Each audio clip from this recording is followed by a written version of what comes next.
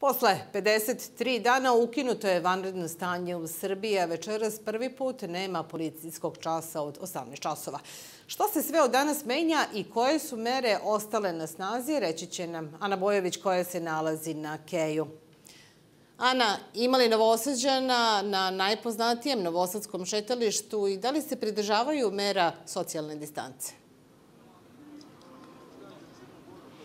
Tako je, upravo je Ke jedno od omiljenih lokacija Novosađana upravo u ovom periodu godine, pa je tako i večeras. Ovde smo primetili dosta mladih ljudi koji su se u manjim grupama e, ovde okupili, puštaju muziku i nekako rade one uobičajene stvari. E, kao što sam rekla, oni su u manjim grupama, neke grupe se pridržavaju, e, neke ne. Takođe primetili smo i druge naše sugrađane koji su iskoristili priliku da ovuda šetaju, kažu da to nisu mogli da rade u proteklom periodu i da su baš zato danas odlučili da iskoriste ono što im je ono onu priliku koja mi je u stvari e, nedostajala. E, odlukom vlade Srbije koju smo imali priliku da čujemo danas, e, podsjećani smo na to da će svih mera, da će svih mera morati, da, da će u stvari mere biti obavezne i dalje i za sve građane Srbije, dakle i za preduzetnike i svi ćemo morati da vodimo računa sve dok postoji još rizik da se zaraza može i dalje širiti.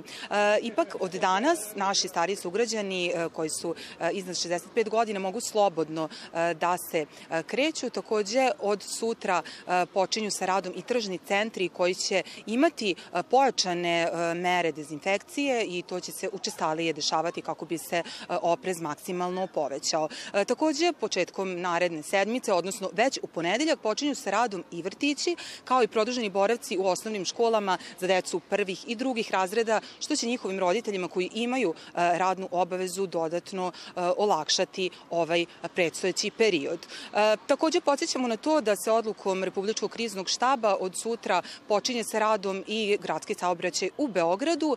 E, iako ne moraju da se koriste maske i rukavice, preporuka je da se to čini, ali ipak je na građanima odgovornost za procene da li to žele. Saobraćaj će moći da koriste, odnosno autobuse će moći da koriste i zaposleni kao i svi drugi građani.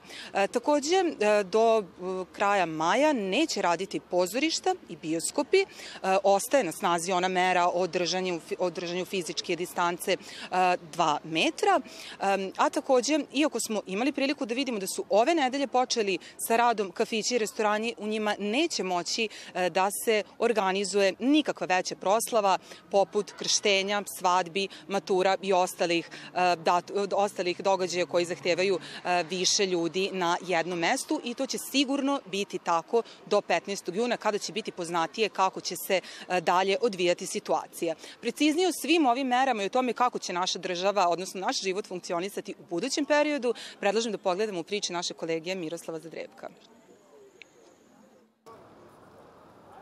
Trgovine na malo ugostitelji i preduzetnici u tržnim centrima dužni su da primene sve preventivne mere. Prestala je da važi uredba o organizovanju rada poslodavaca za vreme vanrednog stanja, kao i zaključak o plaćenom odsustvu duže od 45 radnih dana po skraćenom postupku, poručuju iz Ministarstva rada. Sve one mere koje su bile donete i to smo objavili na sajtu koje su, čiji je rok važenja bio dok traje vanredno stanje. Juče smo objavili koje su to mere i koje prestaju. Između ostalog i i one elektronsko prijavljivanje e, e, za tuđu nego i pomoć bez komisija, znači sad sve to mora da se vrati u neku normalu, zatim ono e, davanje saglasnosti na plaćeno odsustvo preko 45 dana, to je prestalo 6. maja. Vlada je odlučila da važe lična dokumenta kojima je istekao rok važenja za vreme vanrednog stanja, ukoliko se zahtev za izdavanje novih podnese u roku od 30 dana od dana prestanka vanrednog stanja. Ostaju i dve mere u vezi sa javnim skupovima. Svaki skup ne može imati više od 50 učesnika i važi mera koja je sadržana u zakonu o javnom okupljanju da skup mora biti najavljen 5 dana ranije. Svi skupovi koji nisu sazvani u skladu sa ovim merama svakako su nezakoniti. Vojska Srbije počinje da se vraća svojim redovnim aktivnostima. Vojska Srbije će pripremiti odgovarajuće planove o svom dezangažovanju e, i u skladu sa naređenjima vrhovnog komandanta početi da se e, vraća u svoje redovne aktivnosti. Vlada je usvojila i odluku o bespovratnoj finansijskoj pomoći od 30.000 dinara mesečno za period od tri meseca onima koji imaju status lica koje samostalno obavlja umetničku ili drugu delatnost u oblasti kulture.